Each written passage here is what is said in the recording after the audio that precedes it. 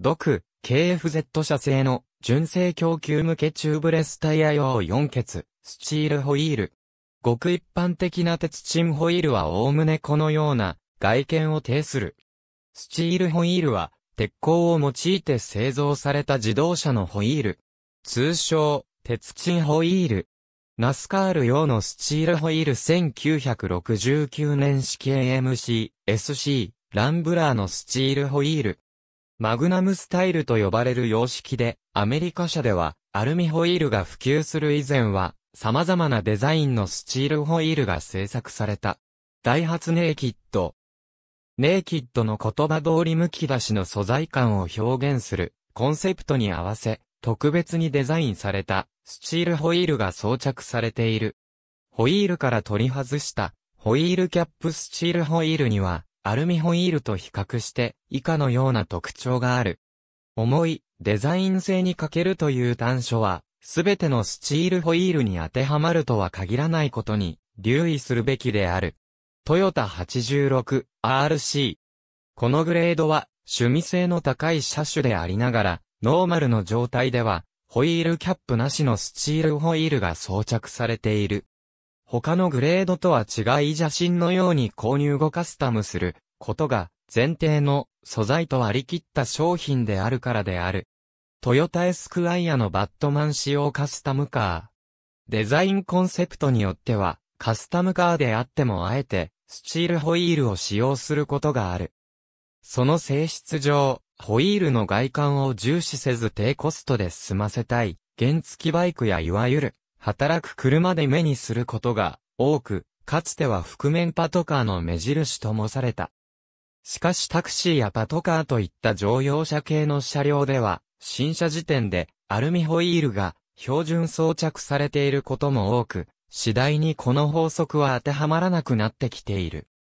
また逆に趣味性の高い車種においても、それゆえに、ユーザーはカスタムして乗ることを前提として、スチールホイールを使用した廉価グレードが設定されることもある。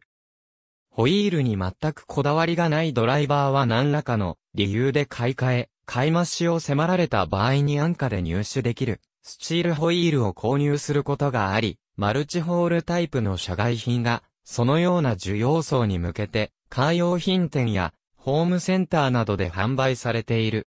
しかし、2020年代現在では大量生産、販売による低価格化をはじめとする各種背景から、あえてスチールを選ぶ理由がなくなった、ともすれば、そもそもスチールホイールが選べない状況も散見されるようになってきた。カー用品店やホームセンターでタイヤ組み込み済みのアルミホイールが連売されるケースも多々あり、またとりわけ C セグメント以上の車種においてはそもそもスチールホイールの純正設定すらない車種も多々見受けられる。一方で強度面の事情もあって、最大積載量 500kg 未満の車両を除く貨物自動車では、スチールホイールが積極的に利用され続けている。これらの車両にアルミホイールを使うとなると、車両重量及び、積載荷重に対する安全基準を満たした JWLT 規格品であることが必要で、純正品、社外品も含めて、あまり種類が多くないからである。モータースポーツにおいては、ナスカールの車両に現在でもスチールホイールが用いられており、ナスカール車両をイメージした社外品のスチールホイールも存在する。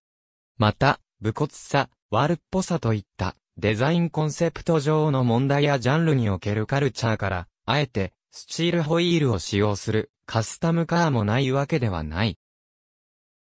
1950年代のイタリアのスクーター、ランブレッタモデル D のスチールホイール。合わせホイールと呼ばれる形式で、日本の軽自動車もおおむねこれと類似した形状のスチールホイールを採用していた。プレス加工により、後半からディスクを成形し、これをリムフランジと溶接し製造する。またリムフランジ部とディスク部と一体成形する工法もある。リムフランジ内側にビードからの空気漏れを抑える凸部分、ハンプが形成されている。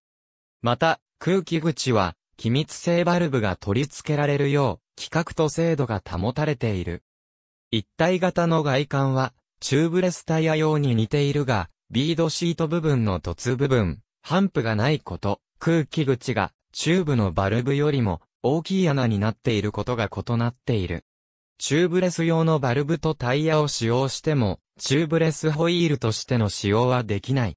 チューブタイヤ用のうち、合わせホイールと呼ばれるものは、左右のリムをボルトとナットなどで合体させる2ピース構造になっており、合わせ面へのチューブの噛み込みを防止するため、ゴム製のリングが使用される。リムが分割構造となっているため一般的なリム乗り腰型のタイヤチェンジャーは必要なく、特別な工具がなくてもタイヤの着脱が簡単に行える。この特徴から戦場での整備が避けられない軍用車両にも多く用いられ、コンバットホイールと呼ばれることもある。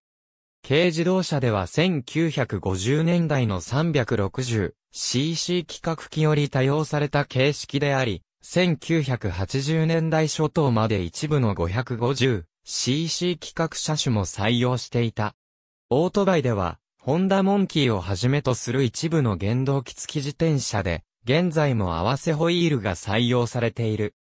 トラック用は、リム止めのリングで、片側のリムを押さえており、ここへ、チューブの挟み込みを防止するために、ゴム製のフラップが使用される。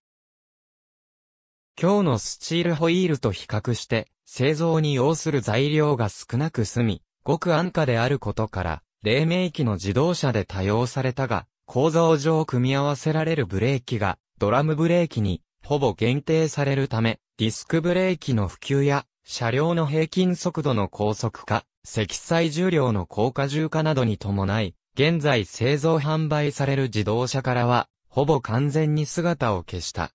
しかし、産業機械用のノーパンクタイヤには、現在でもこのホイールが使われている。